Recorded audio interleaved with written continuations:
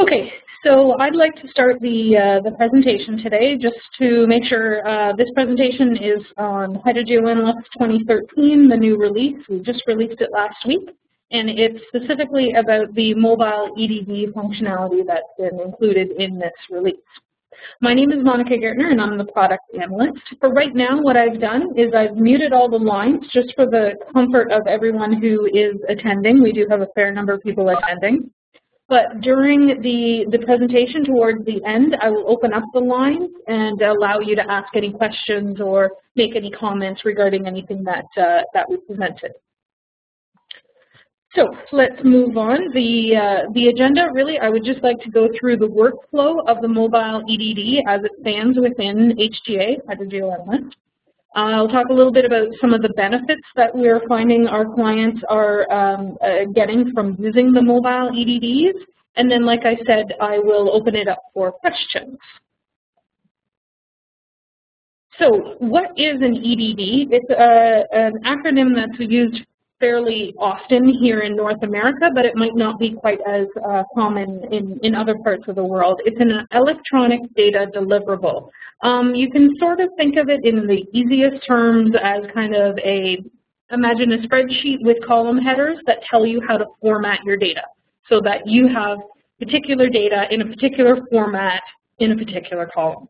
So originally, the EDDs were, were used mostly for uh, the lab analysis data. There was a large quantity of data, and, and having it properly formatted is important in order to uh, manage your data, get your data into a database, and, and make use of your data. But we find now EDDs are being used for just about any kind of data. So the workflow for using the mobile EDDs within HGA are, um, I have six steps here, but I am going to go through them in a little more uh, detail. Uh, you create your EDD, publish it, download it to your mobile device, use your device to collect the data, submit the collected data, and then import the data. So let's sort of look at it in a generic kind of workflow diagram. So within HGA, and of course HGA runs on the SQL database, you already have the ability to generate EDDs. These EDDs were um, originally um, providing support for the what we call the quick checker, which is an Excel plugin. So uh, for managing your data while you're on your desktop. But with this recent release, with the 2013 release, which was um, the, the latest version was just released last week, we now have a new functionality where you can publish your EDD to make it mobile ready. So when you publish it out to the web server, you then have the ability to connect to that EDD with your mobile device, whether it's your phone or your tablet. While you're doing that, you do need an internet connection. However, once you've connected the first time, your um, mobile device will actually download the EDD so that you have the forms that you need to enter that data directly on your phone. So from there, you can head into the field, do your field work where you may have no internet connection, as everything is being saved locally onto your mobile device. When you take a break, go to lunch, or at the end of the day, when you come back to uh, somewhere where you have an internet connection, you then need to submit the data from your mobile device, which was stored locally, and submit it up back to the web server. And from there, HGA can download it and bring it into your database.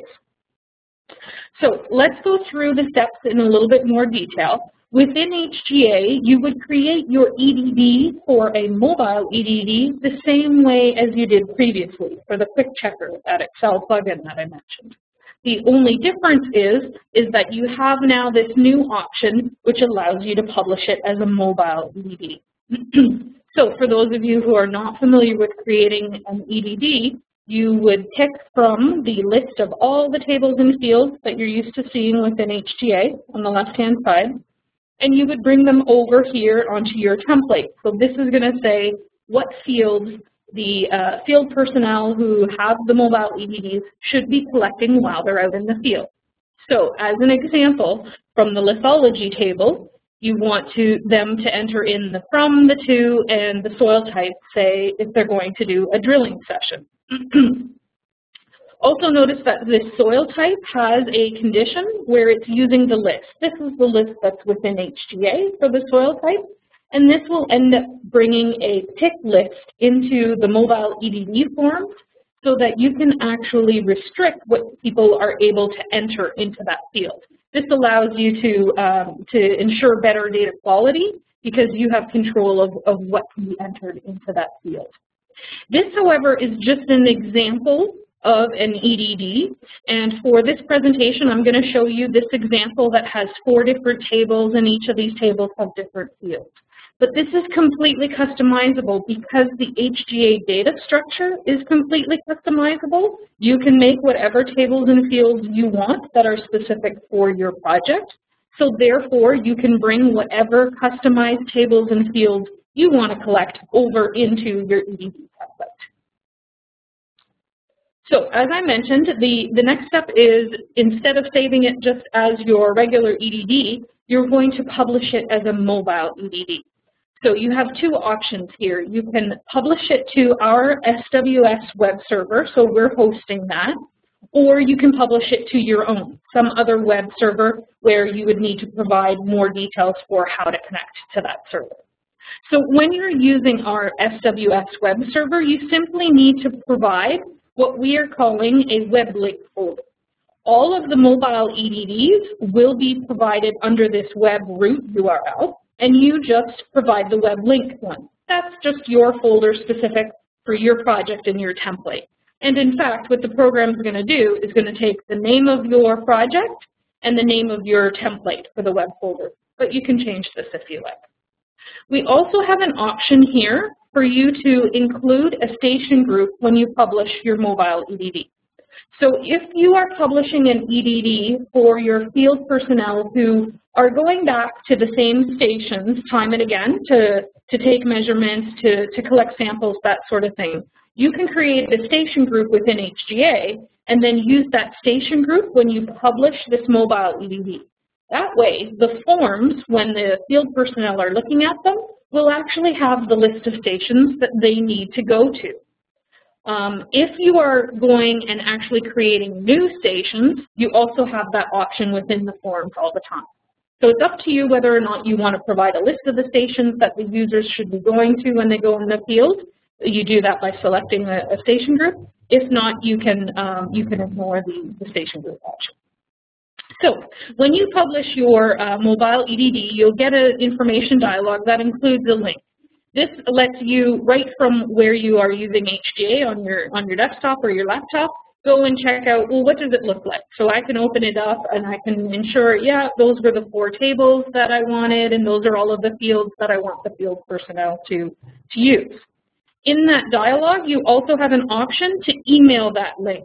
So you can email that then directly to your field personnel to say, this is the EDD that you should be using when you go and do your, your field work. So we have right now a, a testing um, EDD out there. It's very similar to the one that I'm showing during this presentation. So in fact, if you wanted to, you can go to this link and you can take a look at it. You can play with it, you can test it, you can see how it feels, that sort of thing. The, um, the supported devices are currently Apple or Android devices, and we recommend the browser be either Safari or Chrome. Uh, that covers the large majority of people's mobile devices. We will be looking in the future to expanding um, to potentially other devices and, and other browsers. But for right now, like I was saying, Apple or Android devices, Safari or Chrome as your browser. So now let's talk about um, using your mobile device. Remember what I said, when you send the, the, this link to somebody that is supposed to use it for their field collection, they need to connect to that link once while they have an internet connection so that their device can download those forms that you just generated, your mobile EDD. So once they've done that, then they no longer need the internet connection. They can go into the field and actually start collecting the data on that mobile device. Okay? And when they're in the field, obviously there's there's going to be times when you're in the field with no internet connection. That's perfectly fine because when you're doing the collecting of the data, the entry on the form for your mobile EDD, you do not need a Wi-Fi. It's storing that data right directly on your device.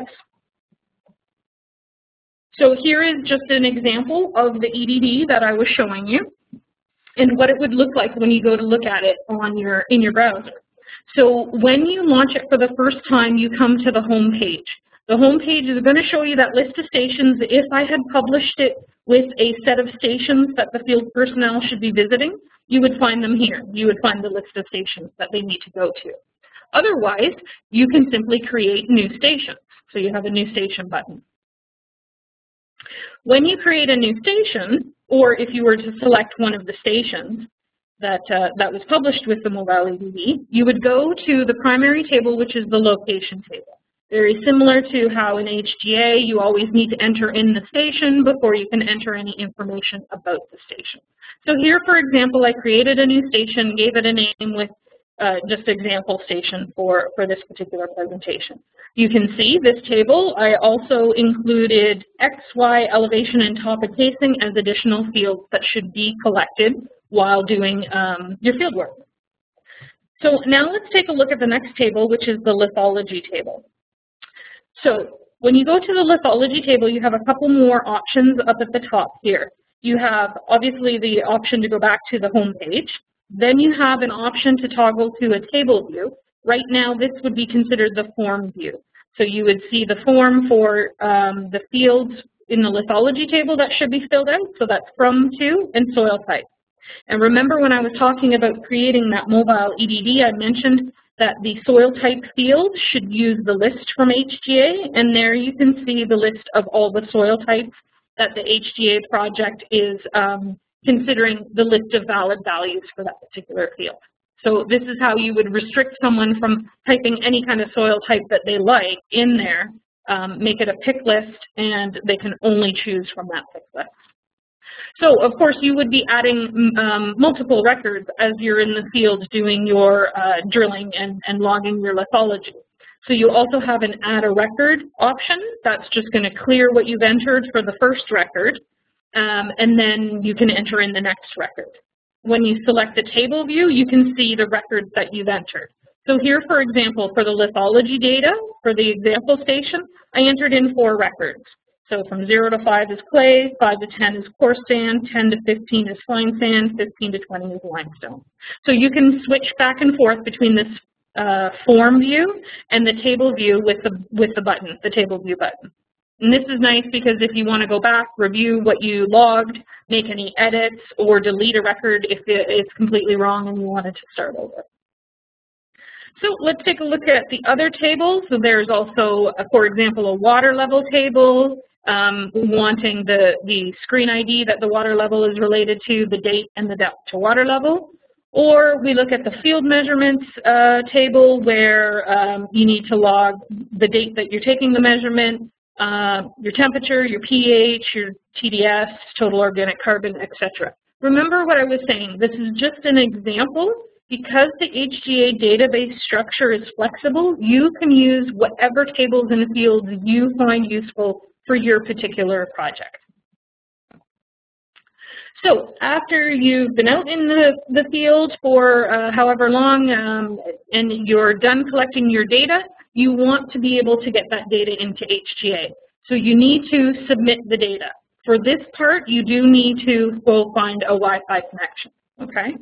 And one of the other things that you need to remember is only if you mark a station as collected will it be submitted.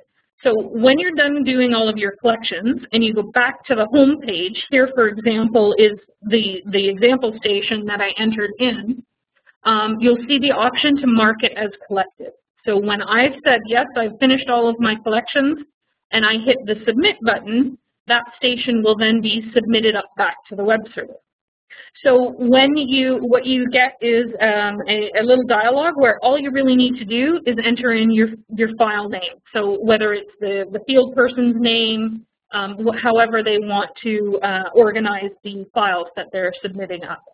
It will automatically add the date and time that the file is being submitted. So you don't need to worry about adding the date and the time. We also have an option here when you go to submit your data to clear the data after you finish sending it. So remember what I was saying, if you have published your mobile EDD with a station group that has, for example, 10 stations, and you have a field personnel go out and say in the morning they collected four stations worth of data, at their lunch, maybe they go to some local cafe or wherever where they can find a Wi-Fi connection, they can submit the data for those four stations while they're there. Then when they go back to the field, they know that the, these are the last six stations that they have to go visit and collect.